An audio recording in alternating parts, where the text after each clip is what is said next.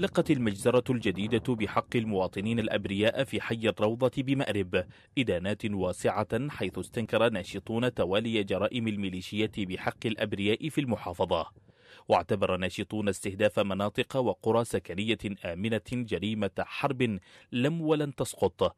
داعين المنظمات المحلية والدولية إلى توثيق هذه الجرائم لمحاكمة مرتكبيها ومحاسبتهم عاجلا أم آجلا.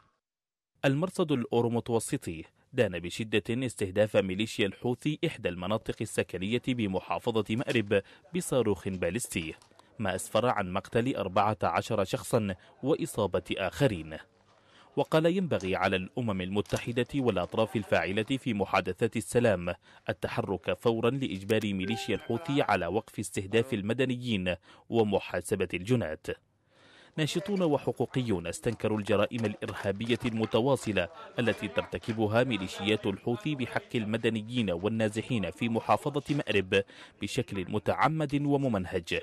مشددين على ضرورة تدخل الأمم المتحدة ومجلس الأمن الدولي والمفوضية السامية لحقوق الإنسان لحماية أكثر من ثلاثة ملايين نازح ومقيم في محافظة مأرب من إرهاب الميليشيات ووقف جرائمها المروعة بحقهم.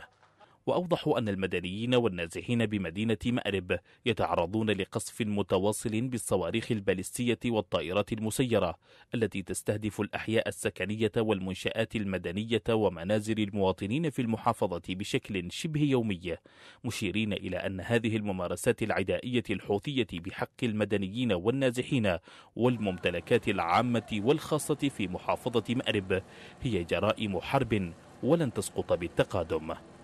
فيما اعتبر مجلس النواب الجريمة التي أقدمت عليها ميليشيا الحوثي الإرهابية بحق المدنيين في مأرب أنها تهديد جدي لنسف كل الجهود الدولية التي يعمل من أجلها المجتمع الدولي لا سيما الولايات المتحدة الأمريكية واستهتارا بوساطة سلطنة عمان ورسالة واضحة لفرض كل المساعي الدولية نحو السلام ووقف الحرب والاتجاه نحو الحل.